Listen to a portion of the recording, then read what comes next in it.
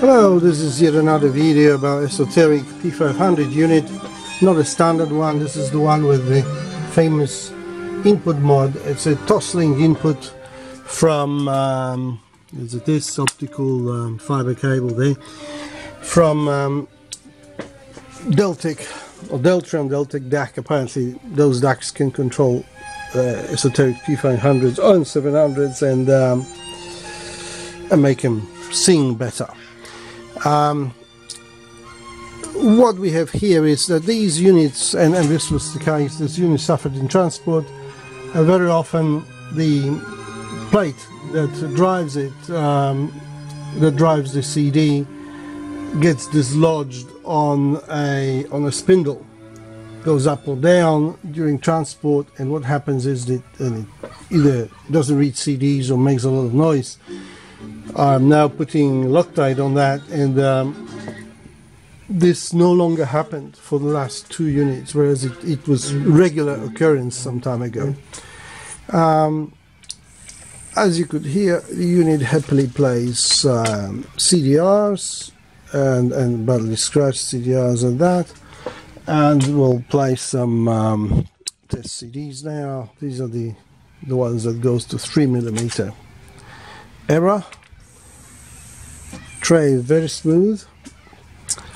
Let's go to track 9 is the specification 0.9 of a millimeter. And you can uh, you know search on that and go backwards so it interpolates very well. We could probably even go to I don't know 15 and that does it just as well. Let's go crazy and go to 18 which is double 1.8 millimeter. So that does as well the on the other side um, oh there's 1.17 um, uh, 1.17 amps across um, 22 ohm resistor. I shall tell the customer what that means later. So the next one would be 39 which is um, um, its specification for black line and as you can see it also can nicely search there and go backwards. It's just the same ease so we can what um, 39 let's go 46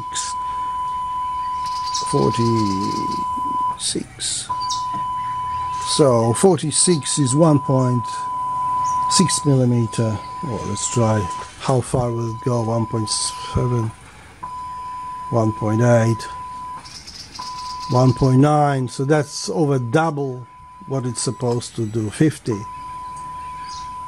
oh there was a bit of a hiccup there I could hear one. So it's at its limit with uh, oh now you can see it's skipping. But that's skipping on track 51 that's 2.1 millimeter. And that is really a drastic test. So I mean we're talking playing that kind of gaps in, in data. So thank you very much and uh, I shall either send it off to a customer or, or, or buy it from him. Uh, till next time, bye bye.